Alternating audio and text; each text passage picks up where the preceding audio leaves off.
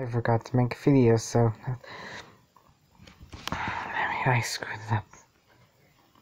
I forgot to make a video, so this is a quick one.